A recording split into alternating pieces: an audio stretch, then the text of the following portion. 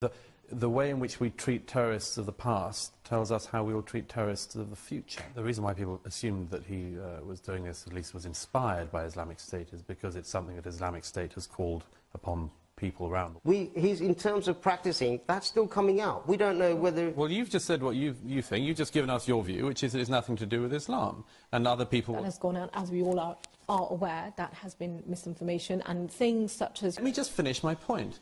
That would seem to me Hi guys, yeah, welcome back. Hope you guys are feeling good. Thank you so so much for clicking. So all Muslims don't deserve hostage. Douglas Murray destroys Islam. So let's check it out. Maybe he is just a criminal committing a horrible crime, Douglas Murray, and the fact that there was this assumption that he was somehow linked to Islamic State. Islamic State clearly made a great uh, amount of that by saying he was one of their soldiers. Aren't we playing into their hands? Well, the reason why people assumed that he uh, was doing this, at least was inspired by Islamic State, is because it's something that Islamic State has called upon people around the world to do, using exactly this sort of methodology. Islamic State has said for some years that since various cells in the West have found it very hard to get hold of the technology to make bombs in recent years, they've been disrupted from doing so. Since it's very hard in the UK, for instance, to get hold of Kalashnikov rifles, ISIS has called on people in countries like this uh, who follow their message uh, to carry out attacks using vehicles, very low-grade attacks, knives, you know, th this sort of thing. So, so that's, that's why. It, it fits a pattern of ISIS-inspired attacks. So we'll, we'll find out exactly, uh, or some more of what uh, motivated him in the days and weeks and months to come. As for the question of, uh, uh, of publicity, this, this is a huge question which we're always wondering about. This was a good week, after all, wasn't it, to wonder about terrorism and our attitude towards it in general. Um, Martin McGuinness, I think responsible for more deaths than anybody else in the UK in recent decades, uh, died and was eulogized in the House of Commons. 24 hours later, the House of Commons was attacked by another type of terrorism. But I think this is a very uh, bad sign for this country. The, the, the way in which we treat terrorists of the past tells us how we will treat terrorists of the future. I'm glad that was such a powerful point in the studio, but... Um, yeah, listen, Douglas, you have your fans. uh, but this, this, I think, should, should, should really worry us. During the IRA's uh, campaign, people said we would never give in to terror.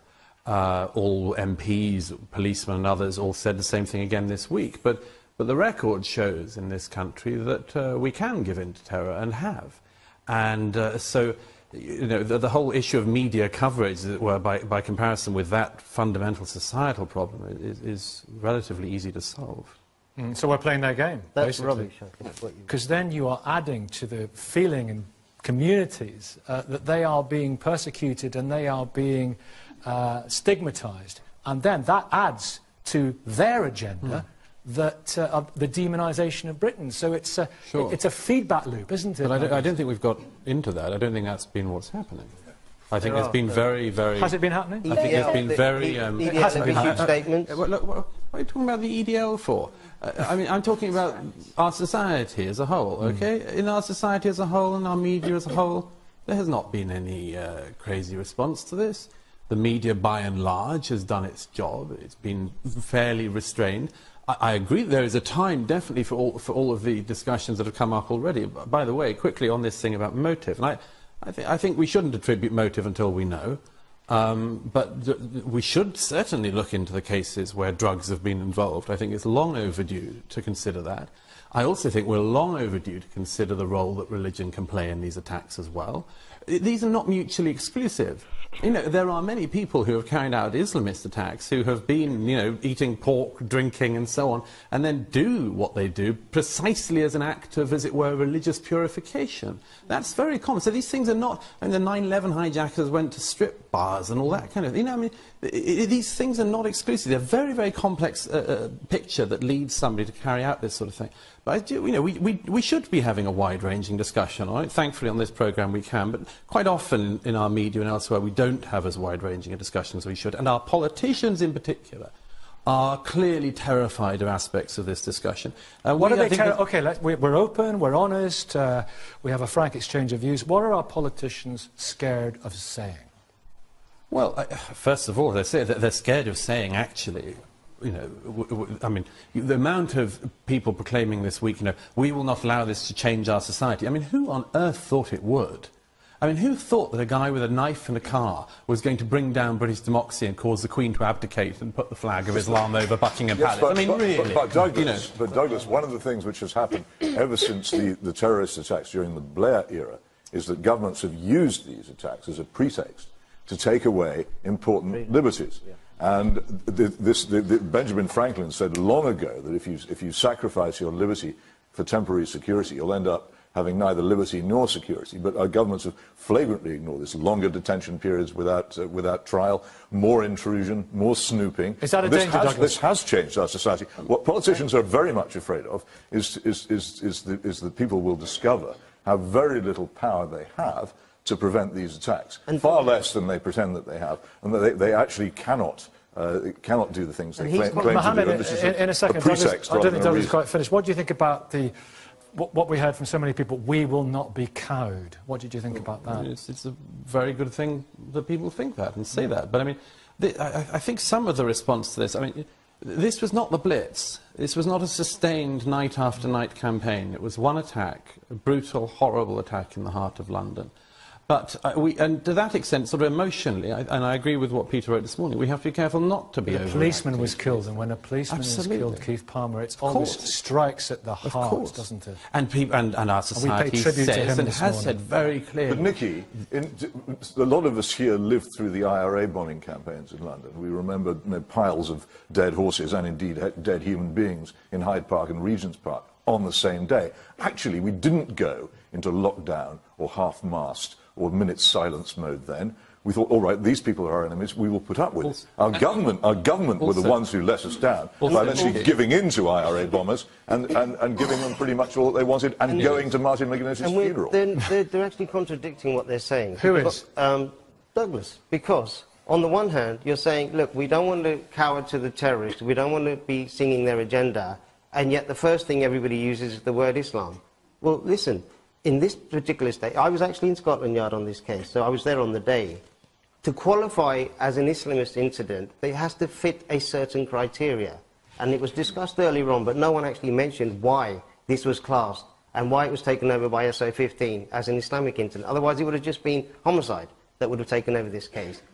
There are certain criteria. For instance, if he said the word Allah Akbar, that would have been clearly uh, uh, uh, an Islamic in, uh, Islamist incident. If he had had a flag of ISIS, clearly it would have been Islamic. He didn't have any of those. He didn't say anything. He didn't leave a note. The only thing that makes this a counter-terrorism uh, He was a matter- Muslim. No, not even that. It was because he wasn't. A, we don't know if he was a practicing Muslim because he clearly, clearly wasn't a very good Muslim. Was the What does that mean? What does a very he- good Muslim mean? well, if he's into, he was taking cocaine, he was into, um, you know, wife bashing, all those things. If he was a Muslim, he wouldn't be taking cocaine and having, you know, drinking alcohol. But it was because he attacked. Let me just finish the point. The reason was because he attacked a political institution, the heart of government. That was one of the reasons, if you like, um, that qualified it. We, he's, in terms of practicing, that's still coming out. We don't know whether. Well, you've just said what you, you think. You've just given us your view, which is it has nothing to do with Islam. And other people will have a view that it is. But I'm suggesting that as a society, we actually take the time to work out people's motives. But it's very clear that in your case, for instance, you wouldn't want it to be ascribed to an Islamic motive. Even if it was turned out that he had a copy of the Quran in the car, you We would would say it had that. nothing to No, do no, with no, Islam. we would have and there are that. people, there are people, let me finish the point. And there are people who would say it has something to do with Islam, even if it's very clear that it has nothing to do with Islam. But there are, in this whole thing, my simple point is that we should be looking at the motives. And at the moment, there are parts of the, the anti-terrorism and counter-extremism strategy where the government is, and politicians are very worried about treading on it. And you saw it, as was mentioned earlier, in, in Theresa May's comments in the House this week, where she immediately ruled one aspect of this whole thing out. Abdullah and kill them. This is What- what No, we no, do. no, You mentioned There's a it, context then to you that. I debate these. immediately. these Douglas, Douglas wanted to come in. It's, uh, Douglas. This is a great example of it right here. Miss Andalusi thinks that none of the terrorists ever quote the Quran. Flat out wrong. Flat out wrong. Let me give you that. one example. You mentioned it earlier, the killers of Lee Rigby. Uh, Michael Adebolajo, on his body, uh, uh, uh, when the police arrested him, Uh, he had a note in his pocket to his young daughter explaining why he did what he did. It's all on the public record. You can see the facsimile on the BBC's website, and he has footnotes throughout it of Quranic verses that he explains justify, in his view, his actions. Now, I, Well, that's the beginning. well, Hang on, well, let let me just give you the finish my point Everyone's before, talking the, about the before the scriptures. Let me proselytization the begins, okay? Hang on a minute. Let me just finish my point.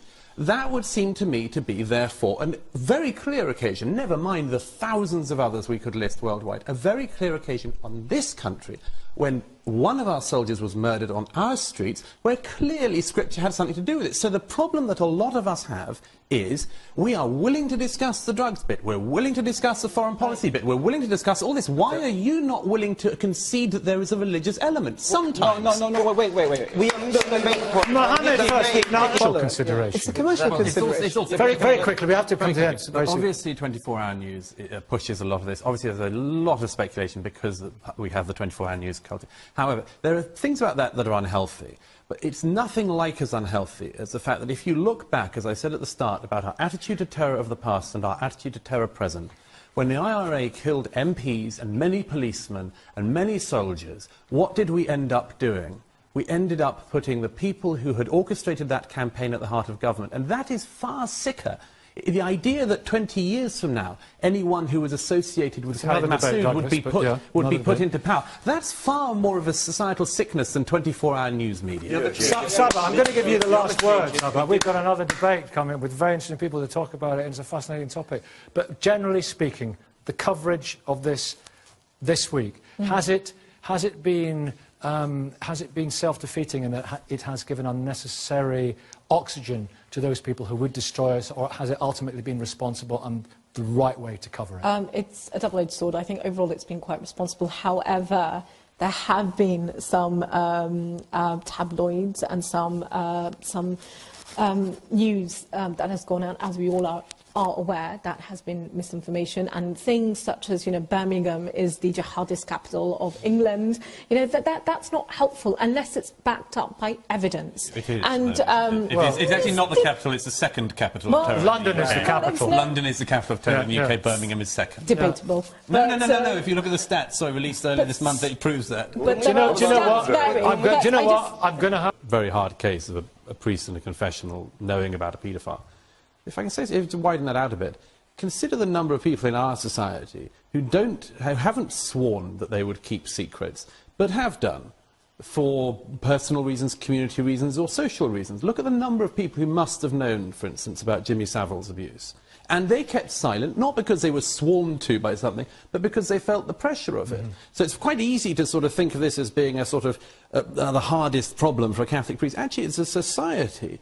A lot of people in our society cover over things whilst moralising about things like Catholic priests. And as a practicing Catholic, one does wonder what... Uh, So he's just trying to talk about the terror or the terrorism happening around, you know, the nations. He's just trying to let us understand why he believes that everything happening in the country or happening around the world, the terror happening is all the foundation is from the religion, Islam, and just trying to make his points, uh, give an example of things that happened, how they can eradicate this problem and the solution to it, so that peace can reign. That, that was a beautiful one. Let me know your point of view, guys. I'll see you guys in the next one.